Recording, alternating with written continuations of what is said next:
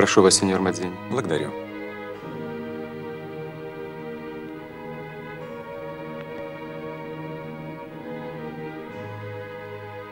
Говорите, Риварис?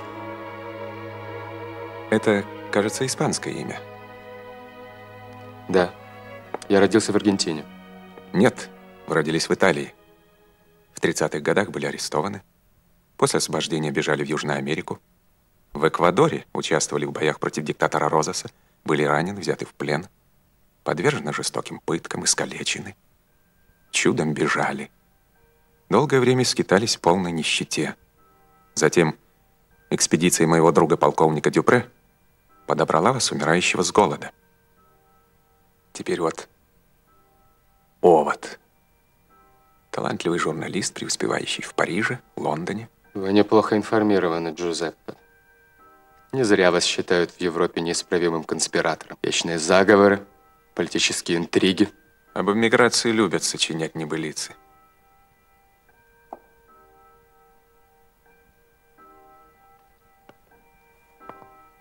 Так вот, я тайно прибыл из Лондона в Париж по делу, которое могу доверить только вам. Не спрашивай, почему вы себя выдаете за иностранца, но знаю, что Италия, ее судьба всегда волновали вас. Италия нет. Сеньор Джузеппе. Что угодно.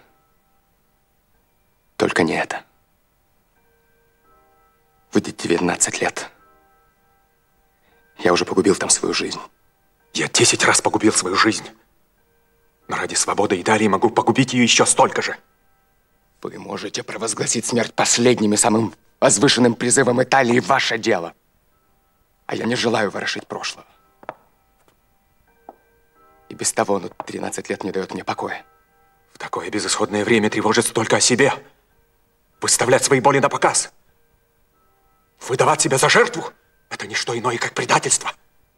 Только не предательство. А что? Бежать из-под огня, когда трагическая судьба Родины требует отчаянной борьбы. Назовите это сами. Назову.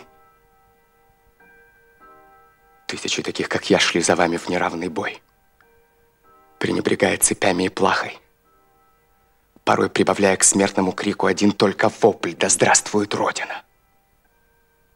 Но все утратило прежнее единство, прежнюю силу, истощилось десятилетиями мученичества – и зашло кровью истомое ожидания. Да боюсь, что и сама наша мысль состарилась. Нет! Мысль о свободе не может состариться. Неужели вы, овод, навсегда останетесь в Париже и будете привыкать к эмигрантскому рабству? Изменять самому себе? Великий Сократ тоже назвал себя оводом, но предпочел смерть предательству собственных убеждений. Я никогда не был предателем. Знаю, но об этом потом. Сначала выслушайте суть моей просьбы, господин Риварис. Смотрите. Вот в этих четырех североапеннинских легатствах готовится вооруженное восстание. План таков – Тайно снабжаем оружием недовольных горцев, и по моему сигналу вооруженные повстанцы движутся к четырем главным городам провинции. Захватывают дворцы, берут заложниками легатов, и тогда мы диктуем свои условия Риму. Для организации восстания нужны именно вы. Вы заставите всех повиноваться себе. Здесь пригодится ваш опыт, приобретенный в Южной Америке. Восхищаюсь вашим прошлым, но тревожит меня ваше настоящее. Потому не прошу, чтобы вы доверились мне. Я доверяюсь вам. Благодарю, Джузеппе.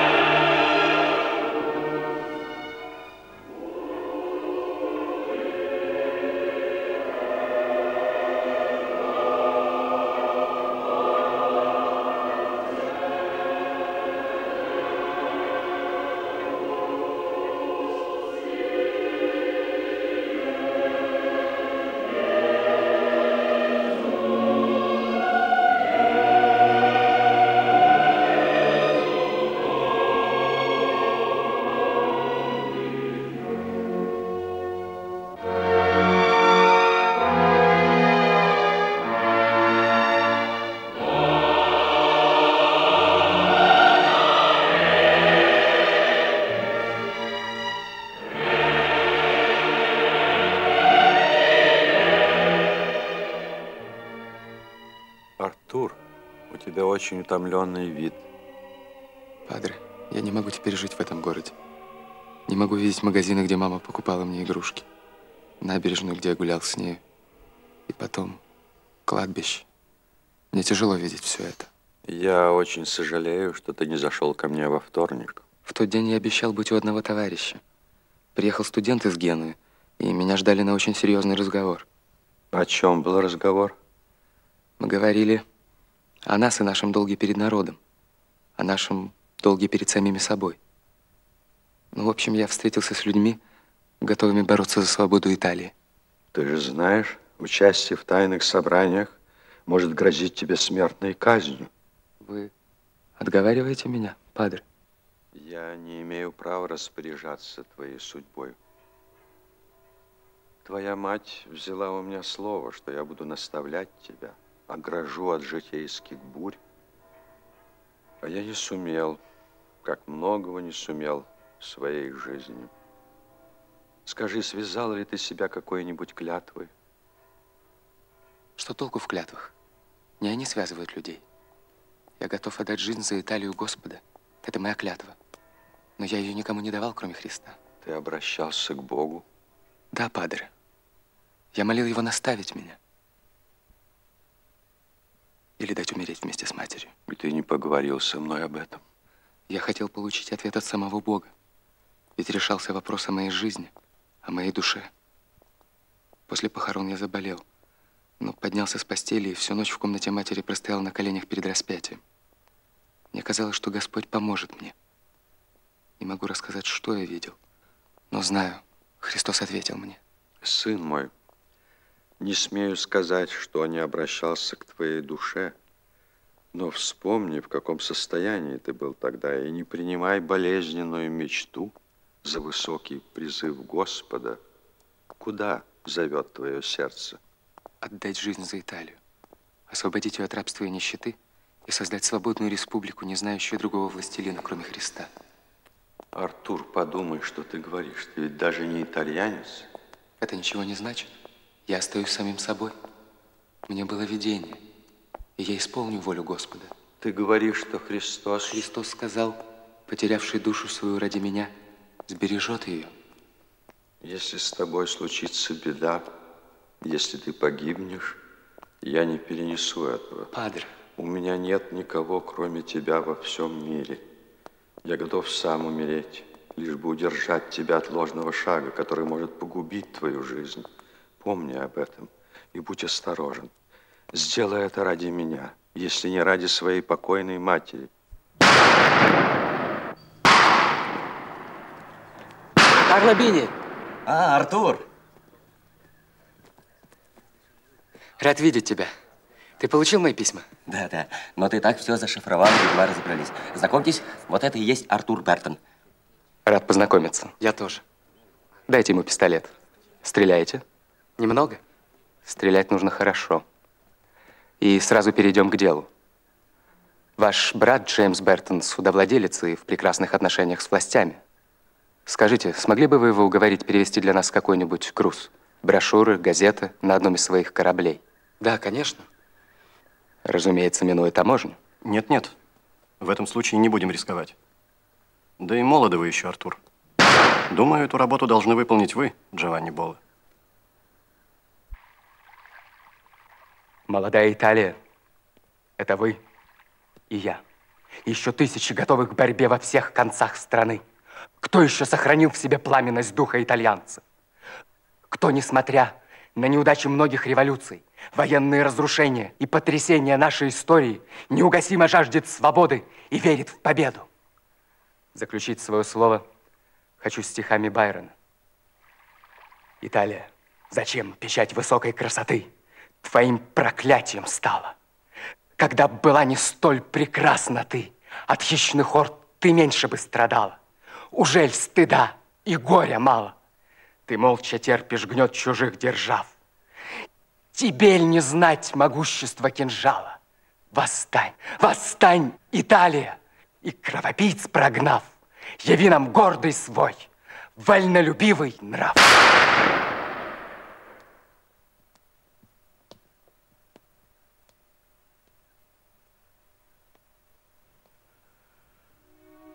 Хорошо, что ты зашел ко мне, Артур. Очень мне нужно было видеть тебя.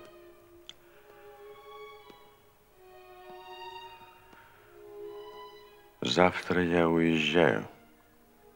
Вызывают в Рим. В Рим? Предлагают епископство. Епископство где? Должно быть, получу епархию в Апеннинах. Ваш отъезд будет большой потерей для семинарии. Не знаю, как семинария, но ты будешь чувствовать мое отсутствие, как я твое.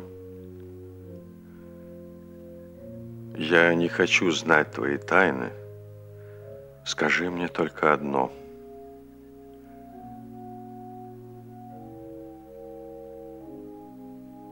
Тебе грозит опасность. Все мы в руках Господних, Падре. Если ты хочешь, Артур, я откажусь от поездки. А как же епископство? Какая мне радость получить епископство и потерять тебя.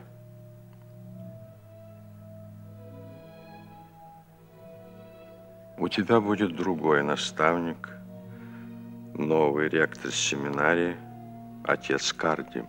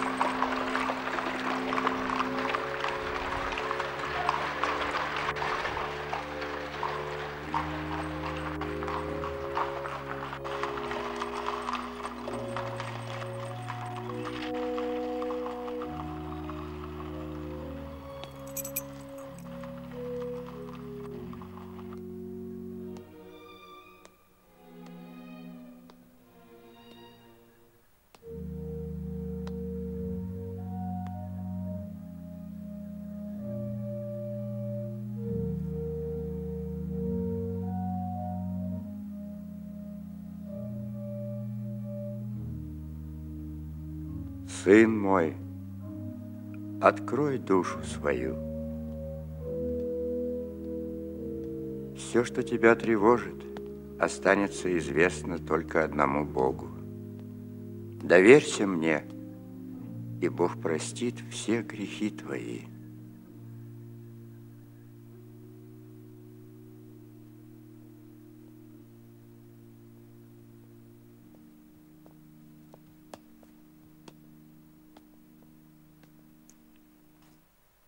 Отец мой, я грешен. Грешен в ревности, злобе, в недостойных мыслях о человеке, не причинившем мне никакого зла. Вы не все открыли, сын мой. Того, кому я испытываю нехристианские чувства, я должен особенно любить и уважать. Вы связаны с ним кровными узами? Еще теснее. А что вас связывает с ним? Узы товарищества. Товарищество? В чем? В великой и священной работе. Священной работе? Во имя Бога и народа? Вы сочувствуете нашему движению, отец Карди? Как всякий честный итальянец. Так в чем же ваша вина перед вашим товарищем? Я позавидовал его авторитету, его мужеству. У вас на душе есть еще какая-то тяжесть. Отец, я позавидовал, потому что организация «Молодая Италия» доверила ему дело, которое, я надеялся, будет поручено мне. Я считал себя наиболее пригодным для него. Какое же это дело? Приемка политических книг с кораблей. Их нужно было переправить в город и спрятать у надежных людей. И эту работу организация поручила вашему товарищу. Как его имя?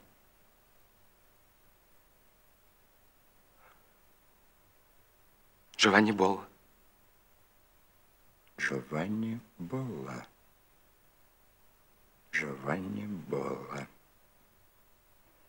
Если вы обрели путь к жертве во имя облегчения жизни усталых и угнетенных ваших собратьев, то подумайте, как вы относитесь к этому самому драгоценному дару, Господню. Все блага дела его рук.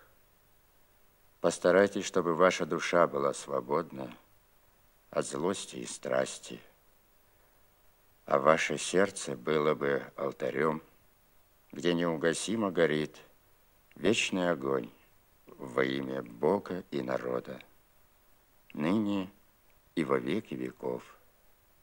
Отец, вы даете нам благословение церкви. Христос с нами. Поторопите хозяев. Я так и знала. Джули, Джули, успокойся, Я сейчас выясню. перестану тебя. Офицер, потрудитесь объяснить, что значит это насильственное вторжение в мой дом среди ночи. Мы англичане. Да, мне придется обратиться к английскому послу, если ваши объяснения не будут удовлетворительны. Мой брат, как и я, англичанин. Надеюсь, мое объяснение удовлетворит вас. Английского посла тем более. Вот приказ об аресте Артура Бертона, студента философского факультета. Если моих объяснений мало, советую обратиться к начальнику полиции. Что ты наделал? Что натворил, отвечай!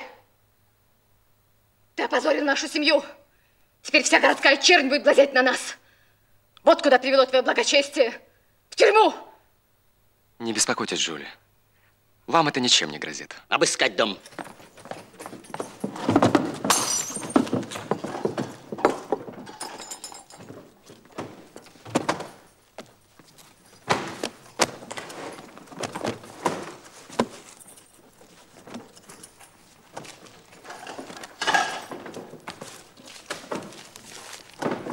Капитан, вот адрес некого Карло Бинни. Журнал «Молодая Италия». Письма Франческо Нери, стихи Байрона. Продолжайте обыск. Слушаюсь. Италия, восстань, восстань.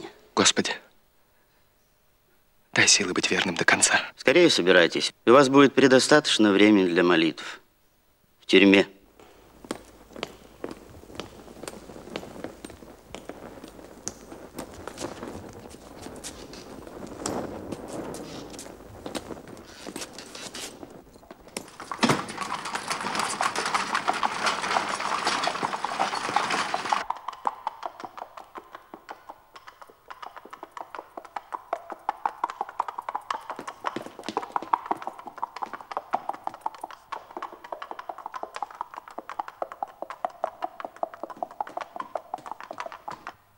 Не первый англичанин, совершающий преступление в Италии. Был уже здесь. Лорд Байрон. Выдавал себя за поэта, памфлетиста. А оказался активнейшим членом подпольной организации Карбонарию. Метался из города в город по всей стране. Выполнял преступные поручения заговорщиков. Писал стихи. Восхищался Италией. А когда бежал в Грецию, в доме, где он жил, мы обнаружили целый склад оружия. Байрон погиб в Греции. Мы вас уничтожим здесь. Последний раз спрашиваю. Что вам известно о подпольной организации «Молодая Италия»? Самая малость.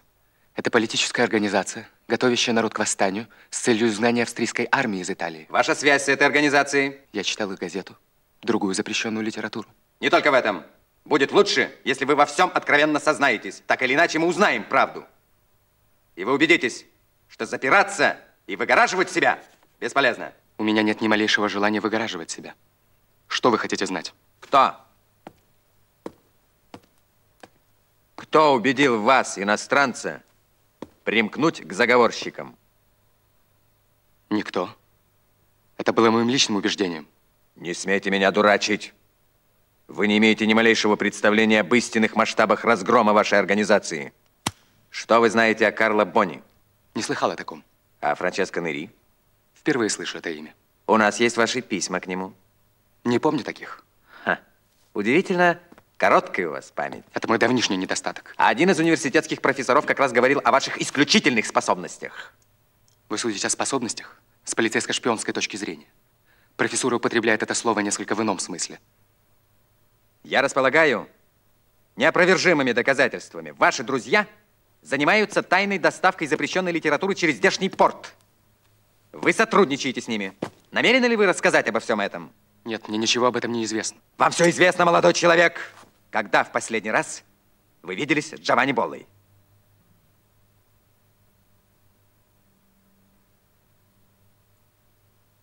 Это имя мне не знакомо. Неправда, вы великолепно знаете Джованни Болла. И он вас прекрасно знает. Вот. В числе примкнувших к нам был молодой англичанин по имени Артур Бертон. Из семьи богатых, влиятельных судовладельцев. Надеюсь, этот документ освежит вашу память. Имя Джованни Болла мне не знакомо. Это ошибка. Вздор! Бертон, рыцарство, Дон Кихотство – это прекрасно все. Но не следует доводить их до крайности. Стоит ли калечить свою будущность из-за какого-то Джованни Болла? Он предал вас. Это его показания.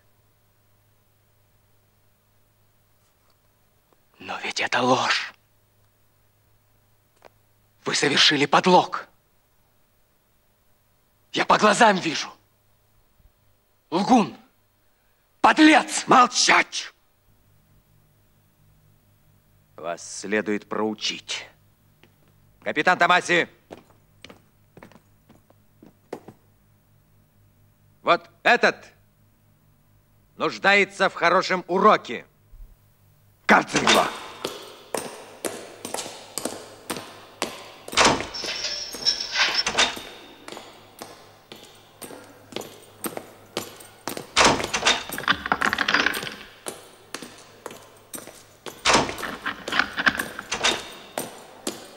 В такой преисподней держали только Компанеллу.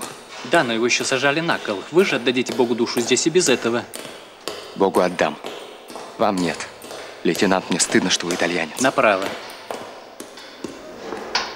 Прошу вас. Энрике! Да?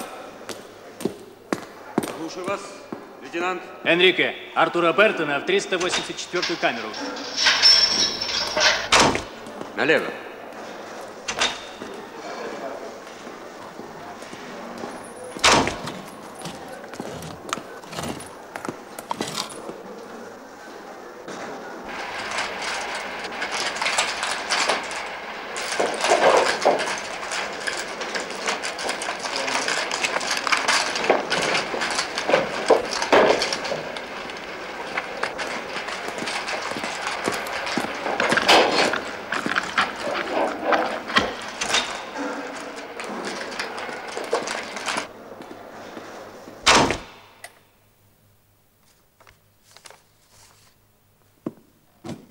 Рад поздравить вас, сеньор Бертон.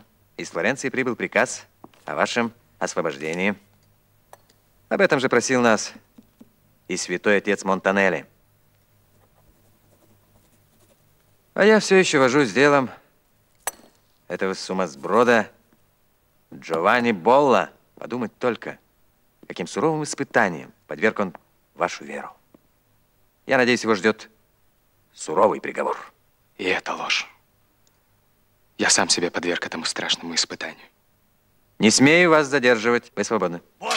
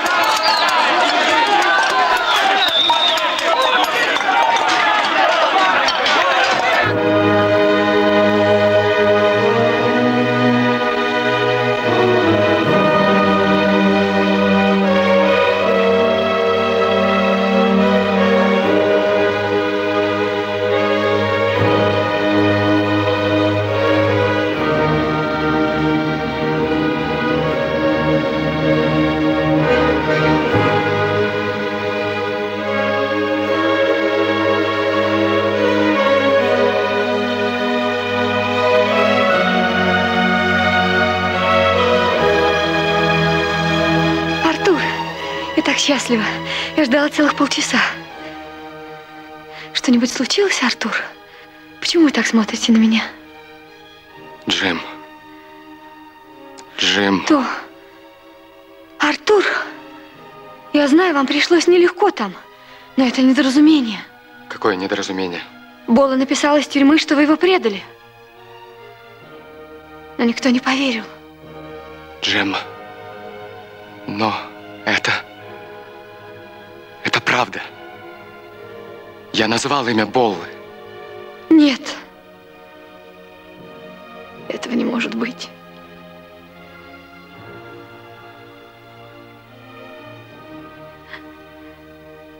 Это не может быть. Джемма! Подождите, Джемма. Вы меня неправильно поняли. Оставьте меня. Джемма, Нет, Джемма, трогайте. выслушайте меня, я ни в чем не виноват. прикасайтесь ко мне. Джемма! Господи всемилостивый, не знаю, за что молиться. От чего оберегать себя молитвами? Разве тебе известны такие страдания? Тебя только предали. Но ты никогда не попадал в ловушку. Ты никогда не был предателем. Господи! Тяжкий грех беру на душу, решив покончить с тобой. Но это неизбежный конец. У меня нет другого выхода. Пойми. И помоги мне. Возьми меня скорее, Господи.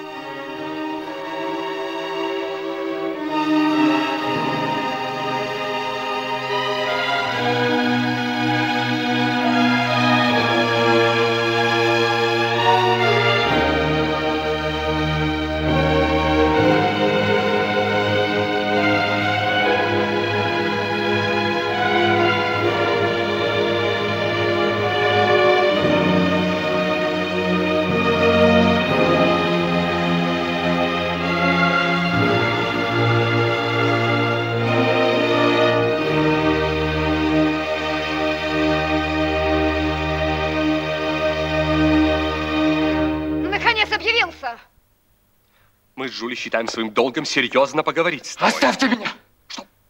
Как ты смеешь? Оставьте. Не могу сейчас выслушать вас. Мне тяжело. Что с тобой? Надеюсь, ты не болен?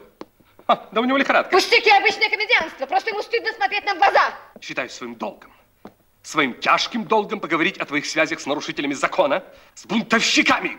Да. Я допускаю все.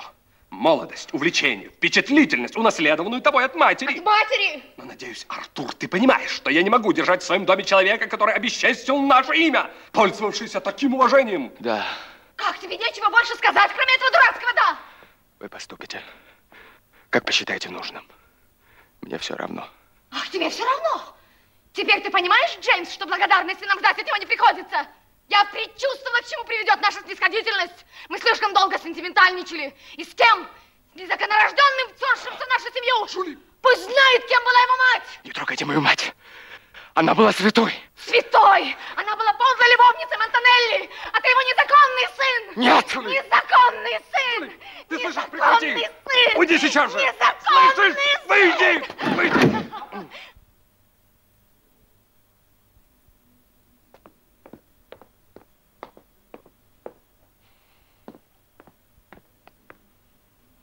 Артур, мне очень жаль, что тайна вышла наружу. Ты мог бы всего этого и не знать. Ты держишься с таким самообладанием, хотя это очень, очень печальная история. Ну, коль так получилось, мой отец был очень снисходителен к твоей матери, когда она созналась ему в своем грехопадении. Он не развелся с ней. Нет. Он только потребовал, чтобы Монтанелли, который совратил ее, оставил Италию. Он уехал миссионером, кажется, в Китай.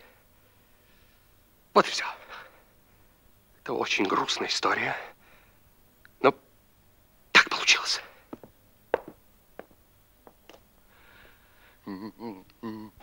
И кажется ли вам, что все это удивительно смешно?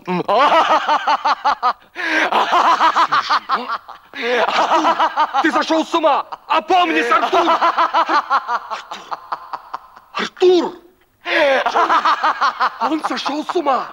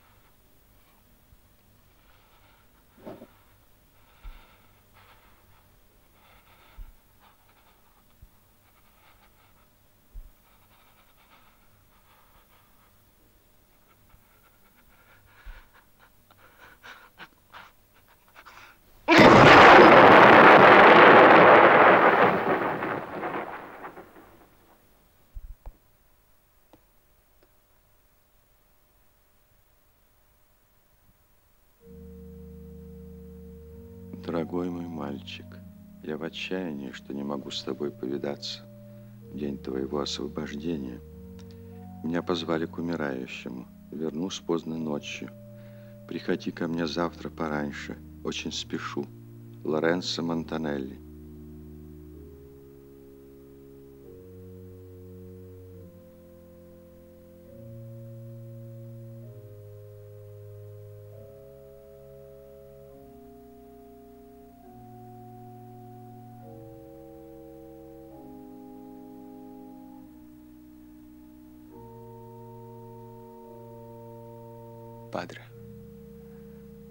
Вас, как в Бога, а вы мне лгали всю жизнь. Ищите мое тело на дне моря.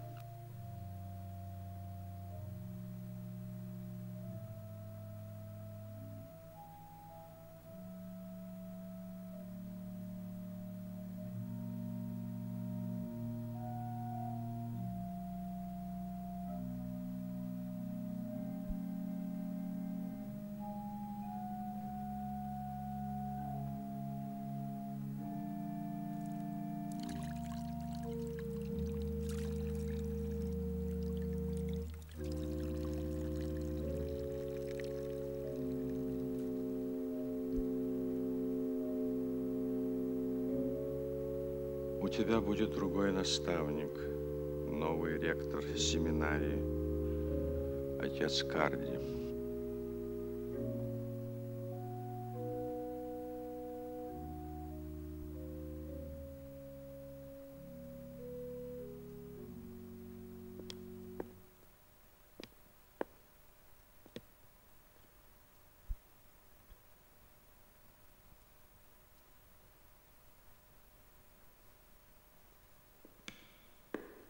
Вы ко мне, сын мой.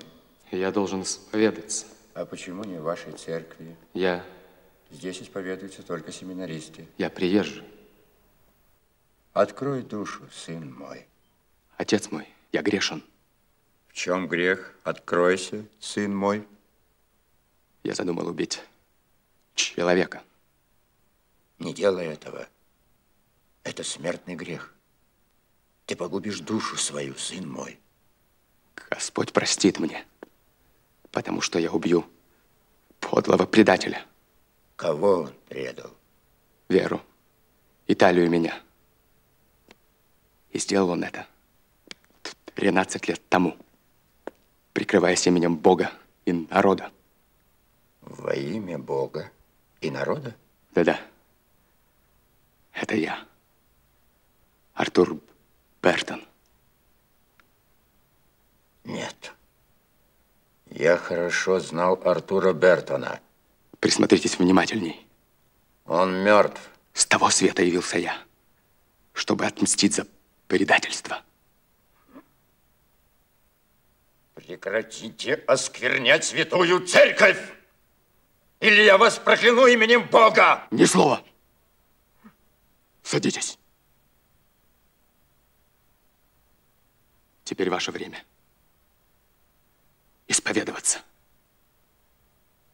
Иуда предал Христа за 30 серебряников. Что принудило вас при... предать меня, моих товарищей? Может, я и грешен. Но вы не посмеете убить священника. Я пришел убить не священника. Я убью предателя.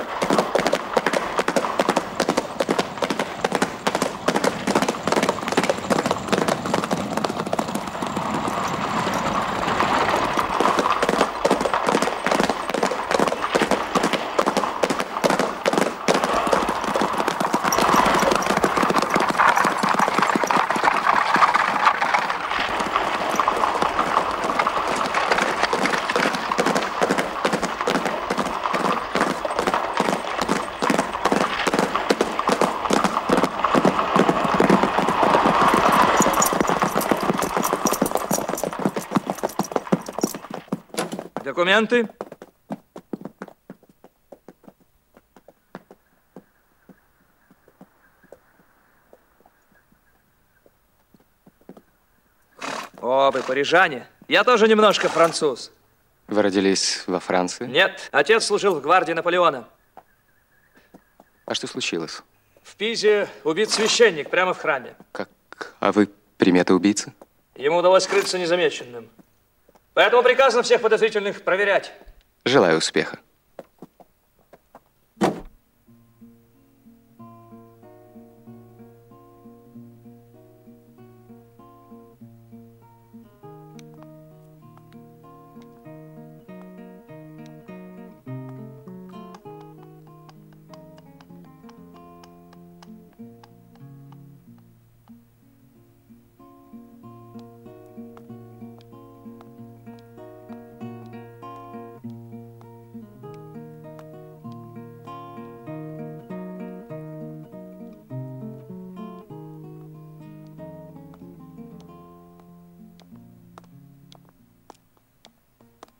Нам нужно искать пути примирения с правительством. Сеньор Гроссини, в который раз вы призываете к умиротворению правительства. Это бесполезно. Именно теперь нам надо поднимать народ. Об этом, сеньора Бола, легко говорить. Но делать? С чего вы думаете начинать? Прежде всего, необходимо разоблачить интриги иезуитов, предавших Италию. Затем обратиться к народу с воззванием о всеобщем восстании. Флоренция не город-фабрика наживы, как Лондон. И не притон для сибаритов, как Париж. Это город с великим прошлым, город науки, искусства. И тут наши призывы не получат поддержки. Именно такими были и Афины. Потому и понадобился Сократ, назвавшийся оводом, чтобы пробудить их от духовно-нравственной спячки. Сократа приговорили к смертной казни. Чтобы с нами не случилось того же, необходимо действовать разумно. Сейчас перед нами открыты такие возможности, которых никогда не было. Какие же? Вы, сеньор Гроссини, оптимист. А пессимистом быть гораздо легче и выгодней. Пессимист, он всегда прав.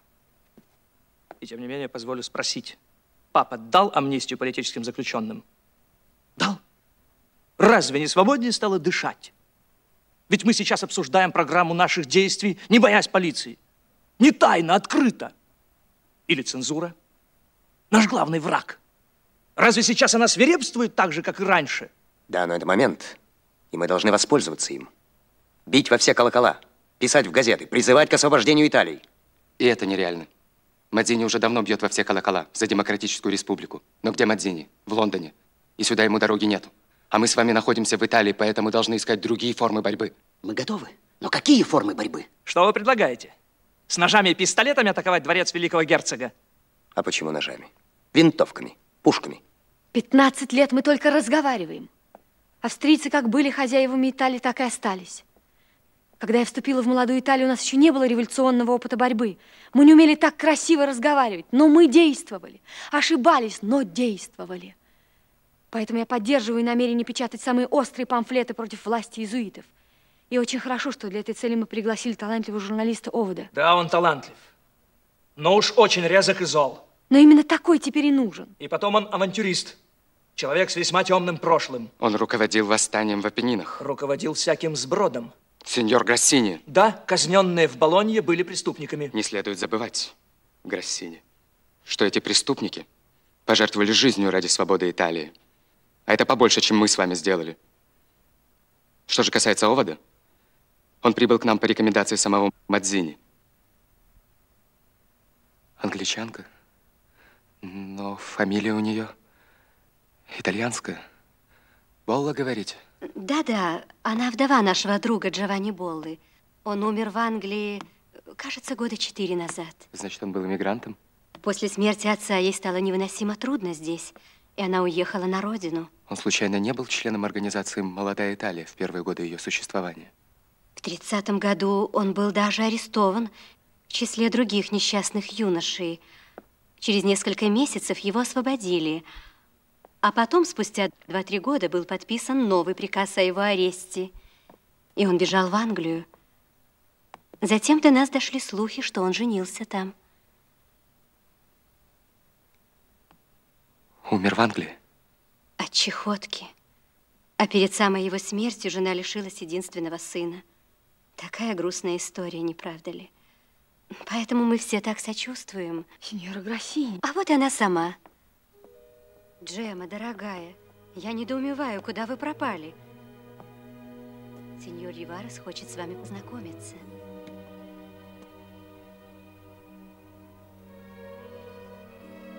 Я шла подышать свежим воздухом. Вы выбрали прекрасный уголок. И какой отсюда открывается вид? Страна рабыни с такими голубыми небесами. И с такими патриотками. Милая Джема, оставляю вас наедине. Надеюсь, вы не будете скучать. Да, конечно.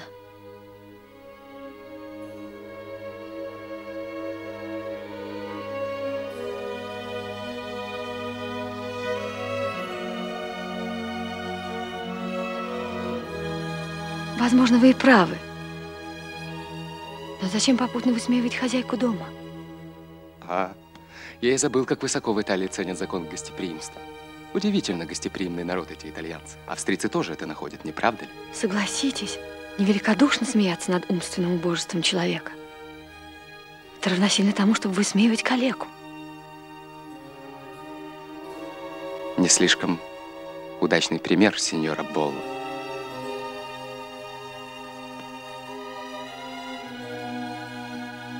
Мы, калеки, не кичимся своим уродством. Величие! Сеньора Бола,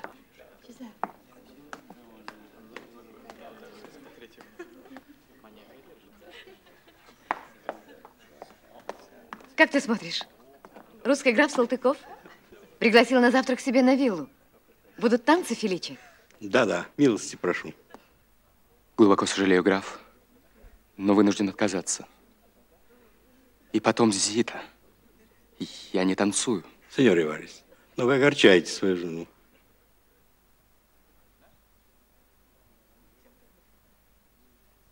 Сеньора Бола.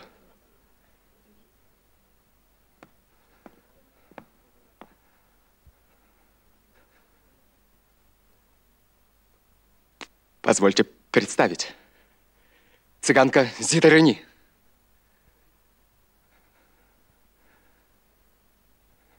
И позвольте откланяться.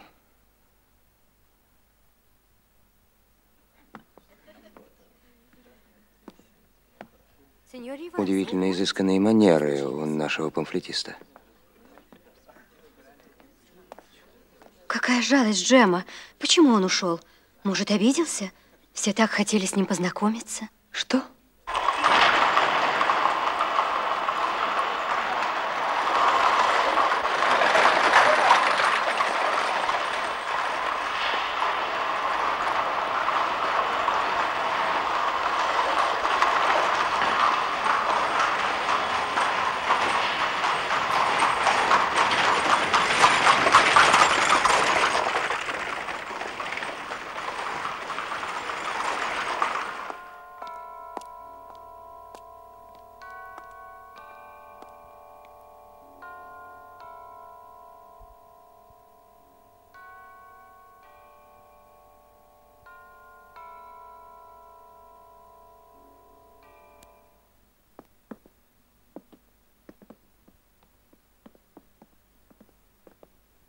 Будем говорить ей об аресте Паула.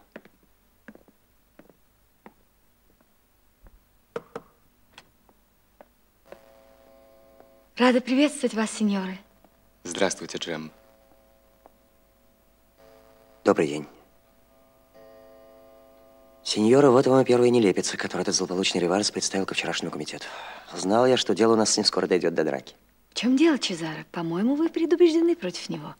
Может быть, он неприятный человек, но вовсе не глуп. Не отрицаю, памфлет написан талантливо, однако лучше прочтите его сами. Несмотря на такое ваше отношение к Риваресу, считаю необходимым попросить его взять на себя руководство нашим подпольем. Не понимаю. Типография в Пестое работает очень плохо. Доставка литературы через границу в сигарах примитивна. За последнее время участились провалы. Произведено столько арестов, обысков, конфискации оружия. Уверен, если это дело возьмет на себя Риварес, положение исправится. Почему вы так думаете? На нас контрабандисты смотрят, как на чужаков. Риварес, по меньшей мере, их друг, если не предводитель. Они слушаются его, верят. Вы предлагаете поручить Оводу доставку нашей литературы и оружия в Папскую область? Доверить ему адреса и тайные склады? Да. Ему и так все известно. Я категорически против такого плана. Мне кажется, он связан с одной из тамошних групп и, может быть, даже самой опасной. С красными поясами? Нет, с кинжальщиками. А почему вы думаете, что он связан именно с ними? Ну, это только пока мое предположение. Он часто уезжает в Апеннинские горы за границу. Терпеть не могу предположений, основанных на недоверии к человеку. Простите, сеньора, мы пришли к вам по поручению комитета с просьбой, касающейся памфлета Овода. Да, я вас слушаю. Сеньор Иварус, к вам сеньора Болла. Болла? Нет. Занят. Бианка, Да? попросите, пожалуйста, сеньору Боллу.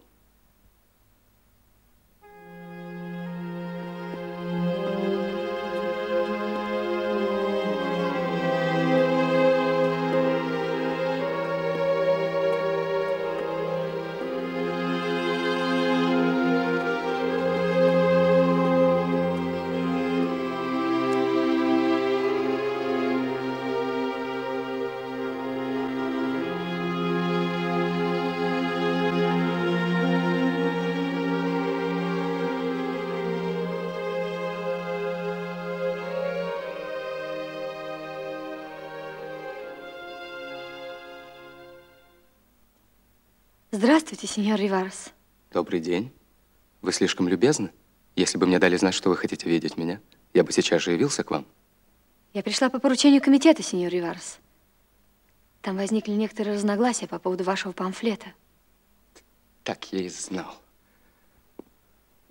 Прошу садиться. Большинство членов комитета, правда, в восторге от памфлета, как от литературного произведения. Но резкость тона может оскорбить людей, чья помощь и поддержка очень важны для партии теперь. Как литературное произведение памфлет ничего не стоит. И восхищаться им с этой точки зрения могут только дилетанты в литературе. А что он оскорбителен, так ведь я этого и хотел. Нам хотелось бы, чтобы вы кое-что смягчили здесь, сеньор Риварес. Вот, например, вы пишете о кардинале. Именно этого я и ждал. Ни одной буквы. Слышите, ни одной буквы не изменю. Мало вам казенной цензуры, так вы еще лезете в цензоры. И вообще, сеньора Бола, почему бы вам не заняться чем-нибудь полезным? Вышиванием, например. А политику, борьбу оставьте нам. Сеньор Риварес, я готовилась к самому враждебному приему с вашей стороны. И я готова стерпеть любую грубость ради дела. Сеньора Бола,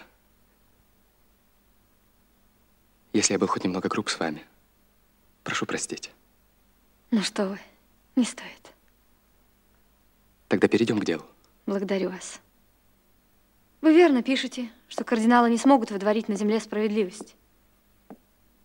Но скажите, разве обязательно смеяться над самим монсеньором Монтанелли? Да, обязательно. А не лучше ли направить главный удар на иезуитов? На тех церковников, которые сотрудничают с австрийцами? Для чего комитет пригласил меня? Разоблачить иезуитов, вывести их на чистую воду. Что же касается монсеньора Монтанелли, только вчера я получил письмо от своих товарищей из Папской области. Вы еще не знаете. Новый папа назначил его кардиналом. Вот послушайте. Скоро вы будете иметь возможность встретиться с одним из наших злейших врагов, кардиналом Лоренцем Антонелли. Он приедет во Флоренцию с миссией примирения.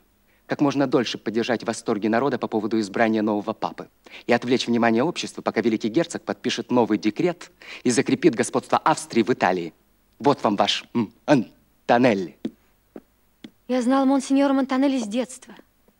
Он тогда был каноником, ректором духовной семинарии в тех местах, где я жила раньше. Я никогда не слышал ничего дурного о нем. Считал его, по крайней мере, в те годы замечательной личностью. Мне много рассказывал о нем. Один человек. Джемма, я был бы очень рад, если бы к нам присоединились вы и Падре Монтанель. Ваш Падре? Артур? Но ведь он же священник. В нашей организации есть священники. Да и дело духовенства вести народ к высшим идеалам. Священники проповедуют религиозную догму. Не вижу в этом ничего общего с намерением освободить Италию от австрийцев. Есть священники, истинные борцы за свободу. Вы уверены, что вам написали правду о нем, сеньор Риварес? Да, мне писал старый друг, один из товарищей по 43-му году. Может быть. Может быть. С тех пор прошло много лет.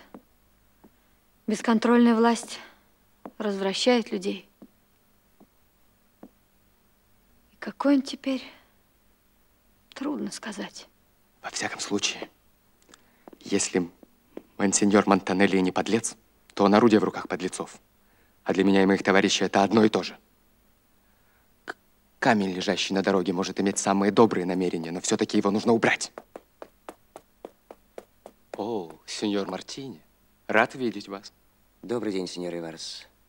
Сеньора Болла, мы опаздываем. Простите за вторжение. Чезаро! Что случилось? Что с вами, сеньора Болла? Мы должны немедленно уехать отсюда. Немедленно. Что вам сказал этот негодяй? Ничего. Ничего, я испугалась. Испугались? Мне вдруг показалось, что он похож на Артура. Сеньора Болла, похожих много. Артур один. Похож. Свобода! Италия! Свобода! Италия! Свобода! И тогда посреди своего народа, вынужденного преклонять колени перед поработителями, мы станем в полный рост, чтобы все увидели наши головы, изъязвленные муками, но не склонившиеся перед врагом. Мы обрекли себя на путь мучеников и героев. С того самого момента, как мы поклялись освободить нашу Родину, мы знали, что вступаем в бесконечную, беспощадную борьбу. Борьбу, в которой мы не пожалеем сил. А если придется, то и сумеем и умереть, не дрогнув. Но уже не как христиане древнего мира, а как воины, научившиеся смело смотреть смерти в лицо. Величие задач, уверенность в конечной победе и всепоглощающая борьба придадут нам нечеловеческие силы, которые изумят весь мир. И если уж Италия родила нас такими отважными смельчаками, то мы должны стать ее героями-освободителями. Да здравствует свободная республика Италия! Свобода! Италия! Свобода!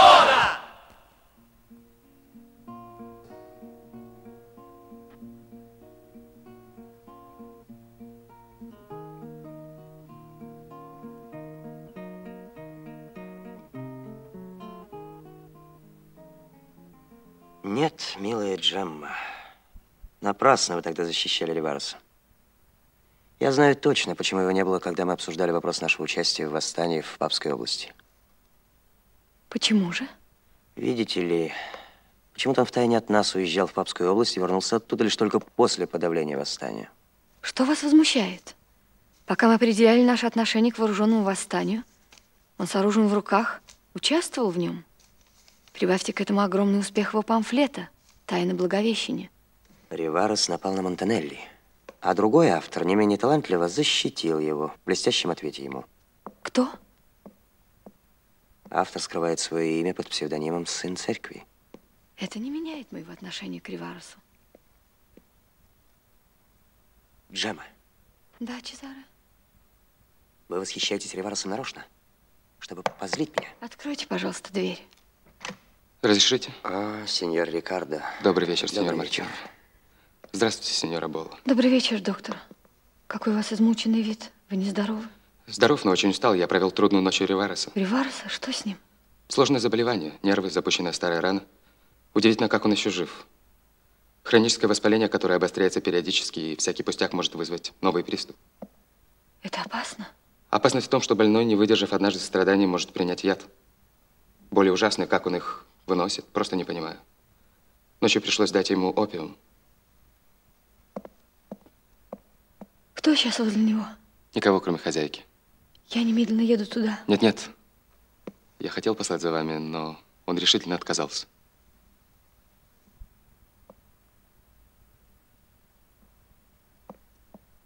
Чезаре, вы не могли бы поехать туда и побыть возле него эту ночь? Да, конечно. Непременно.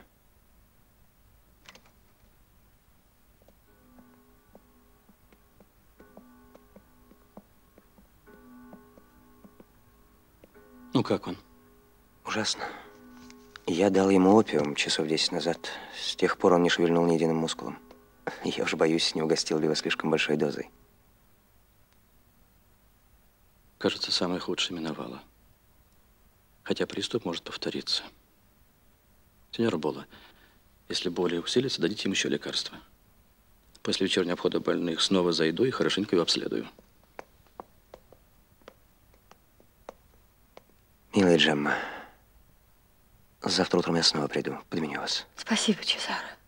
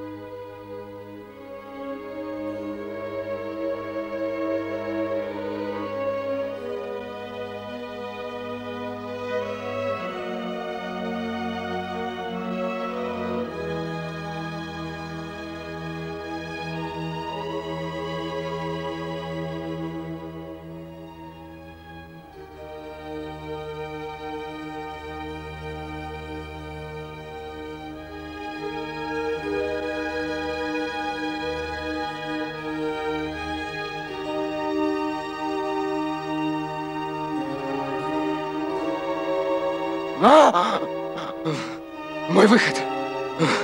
Задержите публику.